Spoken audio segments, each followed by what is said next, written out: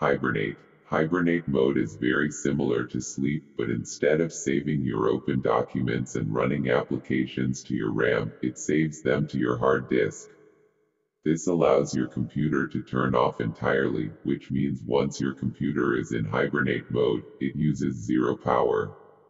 Once the computer is powered back on, it will resume everything where you left off. It just takes a bit longer to resume than sleep mode does.